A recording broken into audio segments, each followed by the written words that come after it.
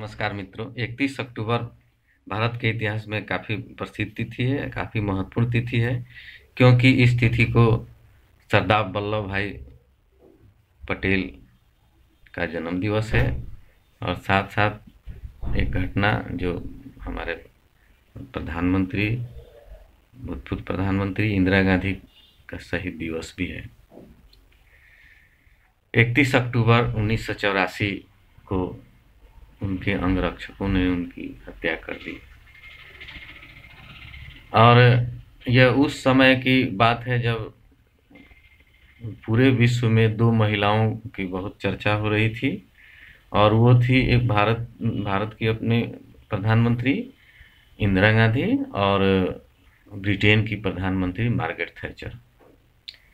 दोनों प्रधानमंत्रियों को लौह महिला के रूप में जाना जाता है।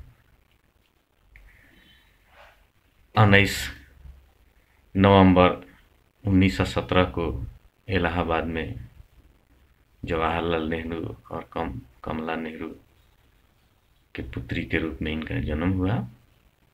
और चूँकि परिवार में राजनीतिक माहौल शुरू से ही था, इसलिए इन पर भी उसका प्रभाव पड़ा या इन्हें, इनका अनुभव मिला। प्रारंभिक शिक्षा इनकी इलाहाबाद से ही हुई, लेकिन बाद में फिर शांति निकेतन में भी गई, वहाँ भी इनकी शिक्षा, दीक्षा हुई। और अपने प्रारंभिक जीवन में पढ़ने में भी इनका काफ़ी अच्छा रहा और ये अच्छा करती रही। जब राजनीति के क्षेत्र में तो बाद में ही आई, क्योंकि उस समय जब राजनीति में आई, जिस समय भारत में कांग्रेस के जो प्रधानमंत्री जिनकी असामयिक मृत्यु हो गई थी, लाल बहादुर शास्त्री, उस समय एक कह सकते हैं कि एकदम शून्य की स्थिति आ गई थी और उस समय इन्हें प्रधानमंत्री बनाया गया। पुनः चुनाव हुआ, उस चुनाव में भारी मोहम्मद से जीती और उन्नीस सौ सड़सठ से उन्नीस सौ सतहत्तर तक चुनाव में जीतकर प्रधानमंत्री के पद पर रही। उन्नीस सौ सतहत्तर में चुनाव में उनका हार हुआ और फिर अस्सी तक वो सत्ता से अलग रही। अस्सी के बाद पुनः चुनाव हुआ, उस चुनाव में भारी बहुमत से जीत हुई पार्टी का और फिर चौरासी तक प्रधानमंत्री रही। और कहा जाता है कि राजनीतिक सूझबूझ इनके शुरू से ही थी, क्योंकि जब इनकी उम्र दस साल की थी, उस समय अपनी उम्र की लोग बच्चों के साथ उन्होंने एक सेना की स्थापना की थी, जिस सेना का नाम बांदी सेना था। Operation Blue Star.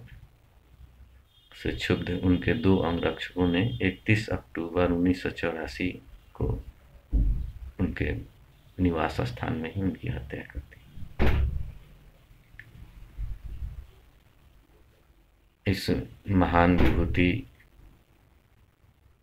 का भारत में बहुत बड़ा योगदान रहा है।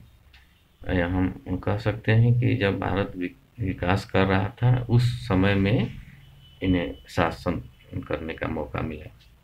और इनके मुख्य कार्यों में अगर हम याद कर सकते हैं तो बैंकों का राष्ट्रीयकरण प्रीवी पर्स का ख़त्म करना, हरित क्रांति,